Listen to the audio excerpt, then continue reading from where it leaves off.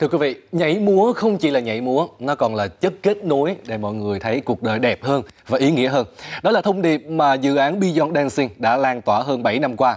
Năm nay thì hoạt động này có gì đặc biệt? Trò chuyện cuối tuần ngày hôm nay thì mời quý vị sẽ cùng gặp gỡ biên đạo múa John Huy Trần để nghe anh chia sẻ về dự án đầy ý nghĩa này. Hơn cả nhảy múa, đó là thông điệp mà Beyond Dancing, một hoạt động do biên đạo múa John Huy Trần khởi xướng và lan tỏa từ năm 2013.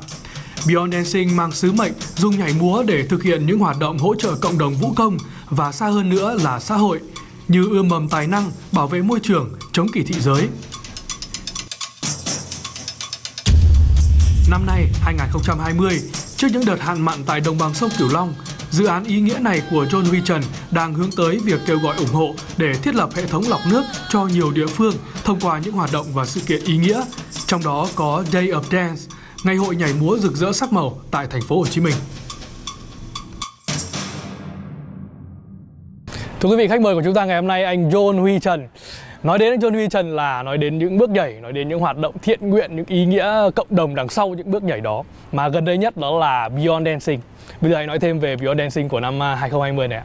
À, thì khi hoạt động hiện tại với à, Beyond Dancing là mình muốn gom gom tiền để giúp uh, Mekong Delta tại tại họ cũng cũng có nhiều khó khăn vì nước thì uh, John Huy không phải một mình John nhưng mà cùng UDG là mình luôn luôn muốn tìm mấy cái khách mình có thể giúp um, giúp nhau. Đầu tiên là Huy muốn giúp uh, cái uh, cái cộng đồng vũ công trước.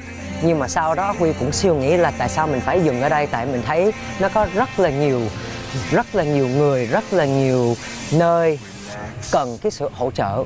Lúc mình xem lại mọi thứ huy cũng nghĩ là có thể là một tháng nữa mình sẽ mình sẽ đến cái cái cái cái ngày đầu tiên để có một cái cái máy và cái máy đầu tiên.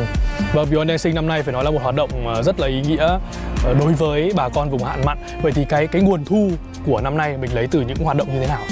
thì uh, mình kết hợp với uh, Dance Center Nhà Tiên với UDG để tạo ra Beyond Dancing uh, 2020 với uh, với cái dự án này thì mình cũng um, làm nước nước ép nước ép tươi à, cũng làm mấy cái chương trình từ thiện nhảy múa. Mỗi tuần thì huy có một cái um, một cái đam mê ở nhà. Huy thích làm bánh. Hồi trước huy chỉ làm bánh để để ăn cho bạn và dancer cho cho mấy bạn thân người thân thôi. Vui thôi.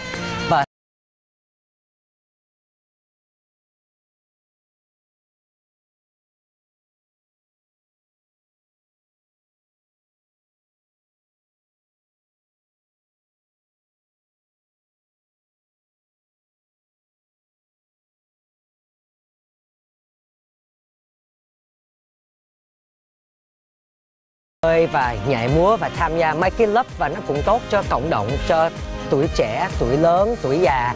Ai cũng nhảy được là tất cả mọi thứ là ai cũng cũng đóng góp thời gian và tiền cho cái uh, dự án này. Sắp tới huy nhà tiên với dance center sẽ làm thêm một cái dự án nữa. Cái đó mình kêu là open mic.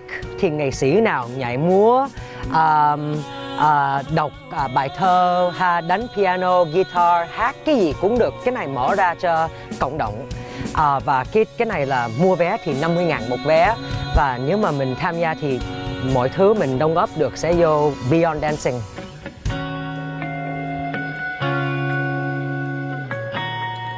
một cái ý nghĩa gì đó mà rút ra qua những mùa Beyond Dancing trước đây từ năm 2013, 14 cho tới nay anh cảm thấy như thế nào về hoạt động này? Cái cách sống của Huy không phải chỉ là sống cho chính mình nhưng mà Huy muốn thấy nếu mà Huy có thể uh, tạo ra hay giúp đỡ hay truyền cảm hứng cho ai đó để họ sống tốt.